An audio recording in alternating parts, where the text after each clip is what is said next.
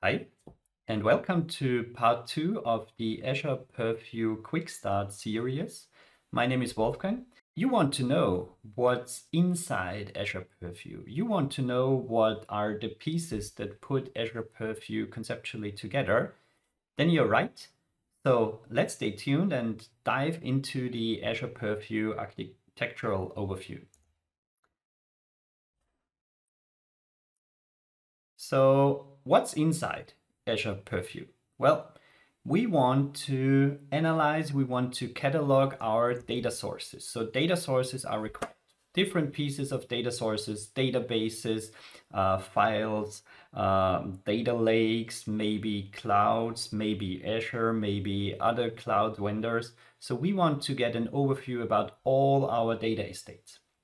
So what is needed to get the information out of these data sources? Well, we need scanners. We need some sort of plugins. We need some sort of technology that scans the structure of the source systems and imports that one into Direction Azure Purview. Next is data classification. It's not only the technical part that is done by the scanners. So we've got a database table, we've got the schema, we've got data types uh, assigned to columns and so on. But we also want to know where are email addresses, where are customer numbers, where are passport numbers stored. So classification is an important part.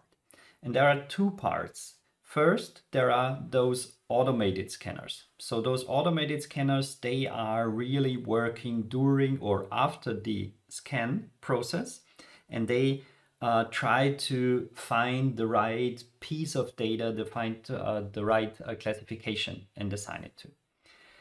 After that, well, there is some sort of data map built. The data map, it consists of the assets.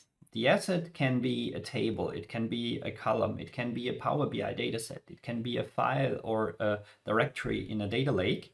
So an asset is a piece of data information somewhere in your data map. Those pieces are put together. So we are building, or not we, Purview is building a data map and some sort of hierarchy. And that hierarchy also includes the process and the data flow, the data supply chain, as we heard in the first video. So where comes my data, where goes my data to, and what are the steps that are involved. So the data map is the result of scanners and the classification. And now for the users, we need some sort of data catalog in order that they are able to a search within your data catalog and there is some sort of additional work involved for your business users edit maintain and publish a business glossary. And the business glossary terms they can be and they are applied to data assets in your data map. And last but not least data lineage can be uh, analyzed using the data catalog. So graphical user interface for everything like that.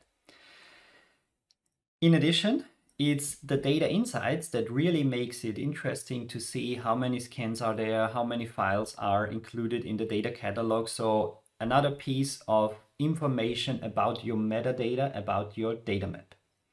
As I said, there are built-in scanners. So scanners that are able to analyze uh, SQL Server, Azure SQL databases, files in the data lake. But if there is no built-in scanner, well, Azure Purview is built on Apache Atlas, the open source data governance solution. And there is an open API that you can use uh, to query your data map and to add additional metadata. So you are not limited to the scanners that are in there. And with that, that was a quick overview about the internals of Azure Purview. I hope you enjoyed it. Please give me feedback, subscribe to my uh, YouTube channel and see you next time.